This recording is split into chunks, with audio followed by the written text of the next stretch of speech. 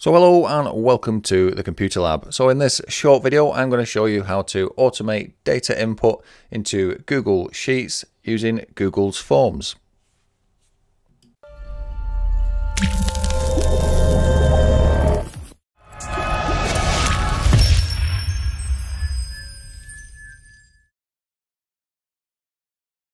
So if you're used to using Excel, uh, you might know that there is a, an option in there to use forms where you can automate the inputting of certain criteria and certain data into an Excel spreadsheet.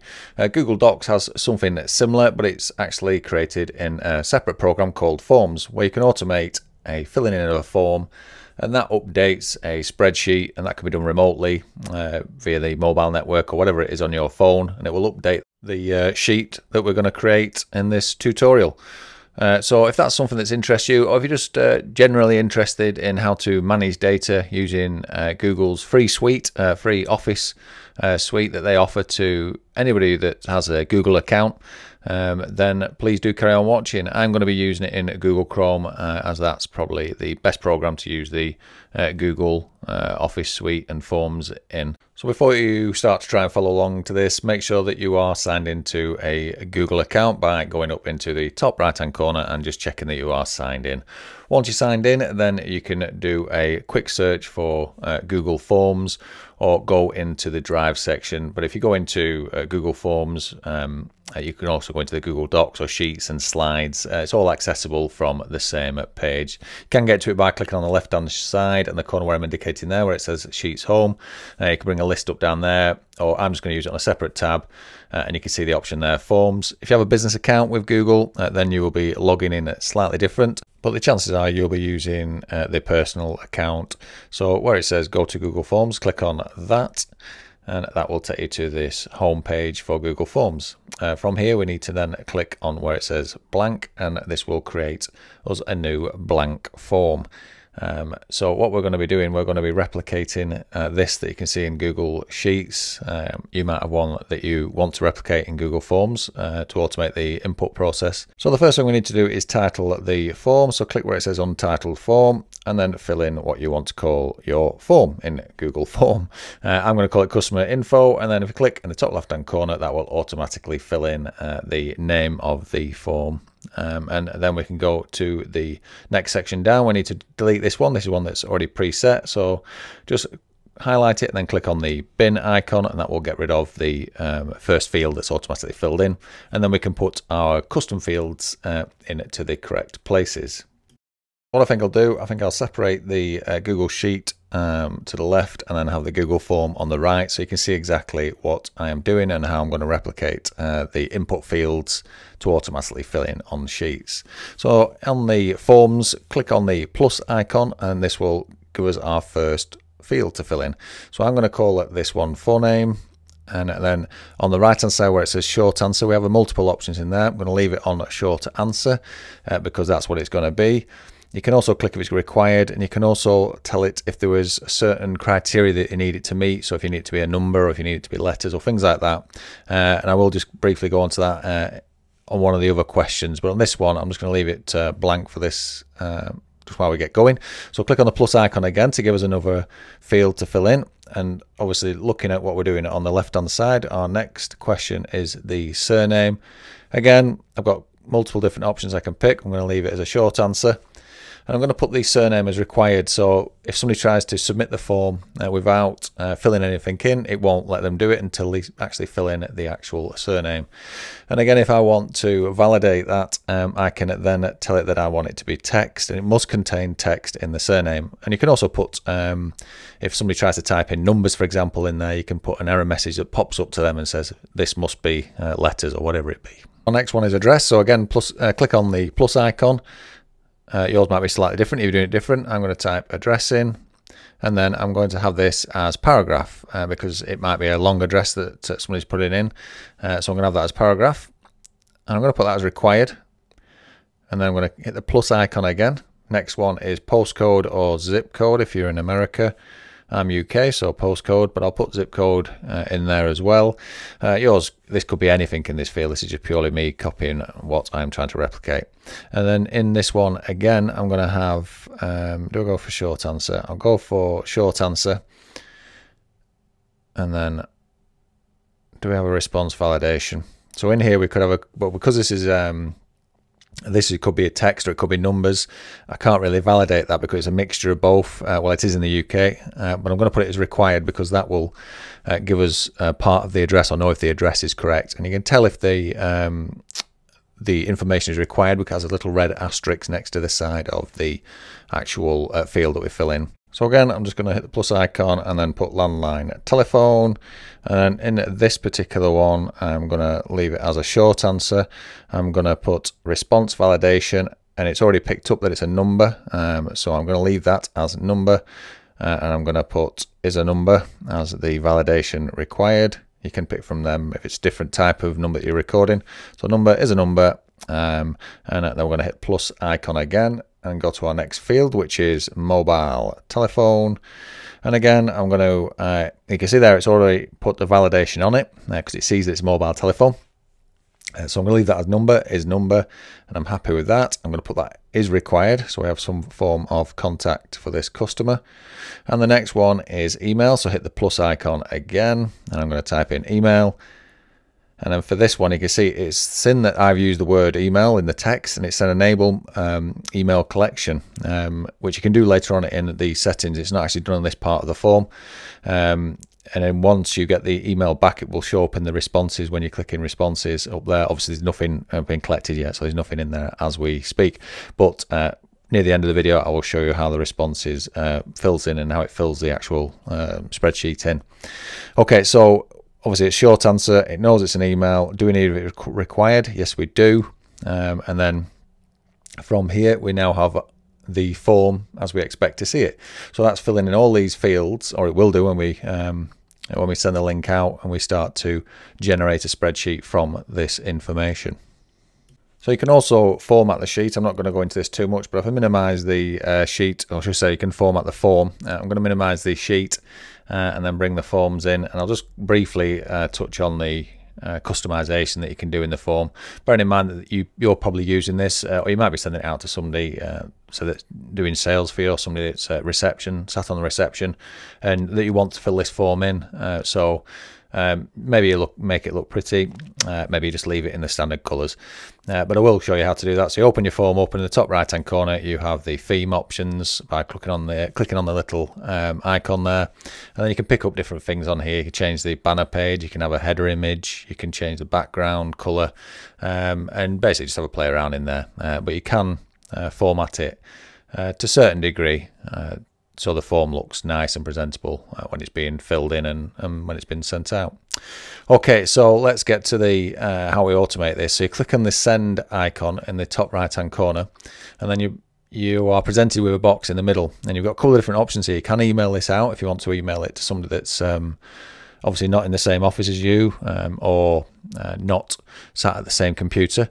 Uh, what we're going to do is actually click on the link uh, and this is the link we're going to generate on our desktop. So you can copy the main link there, which is the full link, or you can uh, shorten the URL by clicking on shorten URL and that will give you the shorter version of the, uh, the link.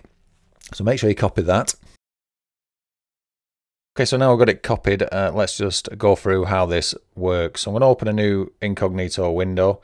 Uh, so Google doesn't recognize me or shouldn't recognize that I'm signed in. Um, so then we need to paste in the shortcut that we just copied and then click enter to go and then now we are presented with a form uh, that you could send to anybody to fill this in. Um, and now we need to put some information in here. Now I might have to blank out in certain bits here because this being Google it will try to automatically fill in some of the bits. So you see a blank box appear it just means that um, it is putting information that I do not want on this video showing up. Uh, so yeah fill in the information as we've got. So you can see anywhere there's a red asterisk that is where we've ticked that we need it as required information and any of the input fields that don't have the red asterisk means that it's not required for this particular form. Now you might have it set that all these are required uh, so it can't be sent to you or sent to the Google Sheet without everything being filled in. Um, but yeah, so anything with the red asterisk is required. So fill in the information as your form is set. And once you've got all the information in there, we then just go down to the bottom where it says submit in blue. And then we click on the submit and it tells you your response has been recorded. So for this particular exercise, I'm going to uh, submit a, another response. I'm going to fill in another form. Uh, so we'll quickly go through this again. If you see any blurs or anything, then that'll be because it's blurring out something I don't want to see. And you saw it then go red. Uh, that was basically telling us this is required. So you can't send the form until this information is in the particular form. So we'll quickly go through this and I'll speed this section up. So again, just fill in the bits that your form requires. So I'm just putting all the telephone number, email, and all the other bits and pieces in. Once we've done that, we can then hit the submit again and then that submits that form uh, to Google Forms. Um, but at this point, we still haven't added it to a spreadsheet, so we need to have a look how we get into uh, and, and, create the spreadsheet from this. That one on the left that I'm showing you at the moment, that um, is purely one that I've created so you can see how we want it to look. Uh, so that's not the actual, that's not pulling any information from Google Forms at the moment because we haven't told Google Forms what we want it to do with that, um, them pieces of information. So when we initially was creating this form, Google asked us when we put email in if we would like to collect uh, the email addresses. And you do this by opening the form page up, on the three dots, click on them, go down to preferences, and then there's a box in preferences that says collect email addresses. So you can actually collect the email addresses, um, and it works better this if you've got a business account. Um, but we are going to be collecting the email addresses anyway, but we're going to be putting it in a sheet. Um, but that's how you collect the email addresses if you are wanting to do it through the Google side. And you also notice in here we have the responses uh, button. Um, but in here is the most important thing. This is where we've got the create spreadsheet. And you can see where I'm hovering my icon there. We then need to click on that in a second. But in the response, you can see I've submitted two of the forms and you can see all the different bits of information in there that has been inputted into the form. Okay, so if we quickly have a look at the information that's been harvested from the two forms I've filled in, and you can scroll down here, and obviously as you start to build up uh, more forms that come into this, this um, information will build up. So let's do the magic. We need to click on where it says create spreadsheet and make sure that accepting responses is ticked. We have two options in here. We have one to create a new spreadsheet and we have one that says select existing spreadsheet. So if you've already got one that's up and running, you can add to it. But for this exercise, we're going to create a new spreadsheet and then click on create. This will then create a new sheet within Google Docs with the information that we have harvested. And then each time a new form comes in, uh, that uh, under that same link that we created before, then it will be added to this uh, sheet within Google Docs. And you can see it puts it in, puts a timestamp on there as well as all the different bits of information that we've titled from that original form that I created before. So let's open Google Chrome in incognito and let's just put uh, another set of information in. So I'm just going to type in here anywhere that you see the blur like before, it's just because Google is trying to pre-fill even though I'm in incognito mode. Um, so I'll blank out obviously the bits because it's trying to pre-fill with some uh, personal information. So that's the only reason I'm blanking out on this. Uh, otherwise, you wouldn't see it. So let's stick uh, name, uh, full name, or surname. Put um, if I can type, put an uh, address in there, and then we'll put a just a postcode just so it's got it. Uh, obviously, a zip code if you're doing that. Put a made-up number in there. Stick a number in the mobile, and again, it's trying to pre-fill, so just blur that out. Um, and then we'll just stick an email in here. And then this information, as soon as we uh, have created this information, we can then submit it. And what you should see then on the sheet, um, it might just take it a second to refresh um, once I click on the submit button from this form. But as long as you're using the same link that you created originally, and that's the only one that you're using, I mean, don't get me wrong, you can use uh, different forms and create different forms for different sheets. Uh, but then you'd obviously just label them as um, as you need them to make sure that you don't get mixed up. But once you've clicked on submit, it might take it a while, or you might have to just refresh the screen just to get it to uh, show up. But as you can see, as I've clicked on refresh, uh, the actual sheet is still only saying its last edit was two minutes ago, so it's still not, even though I've clicked on refresh, it's still not updated the, the sheet. So I'll just click back on and click back into, so I've clicked on forms, I'll just click back in sheets and see if that gets it to wake the uh, the sheet that's collecting the information. Still showing two minutes ago, uh, and hopefully it will refresh. And there we go. So last edit was made seconds ago, and there we go. And there's the uh, the form that we submitted is now updated. Normally, you wouldn't be sat there looking at either, uh, both of them. They're normally doing it automatically, so you'd be sending it and then maybe checking it in the evening, make sure all the information was there or pulling information off it. Um, so yeah, that's it. That's how to get the form to automatically send information to a sheet in Google that you can then process uh, in the office or uh, keep a customer information data sheet or collect any bits of information automatically from a Google form. So the next thing that we need to do is create a link to this form that we have created and put it on to our desktop. So if we go up to the top right hand corner of the form, you've got the three little dots and just next to that you've got the send button. And if we click on the send button, then we get some options. From here we can email it or we can click on the chain link. So click on the chain link in the middle uh, and you can also shorten the URL, which just gives you um, a link that's shorter uh, and has a shorter description. And then make sure we click on copy and then from here we can then cancel out of here and then test the links working. So right click in the search bar paste and go and then see make sure that your form shows up. So we know it's working. Then we highlight it all in blue in the search bar and drag it onto the desktop and that then gives us a link which is just snapped to the right hand side on my screen. I'll just close the windows down in Chrome and then we'll go over to the link and then double click on the link and then hopefully it should open up in the form that we've created.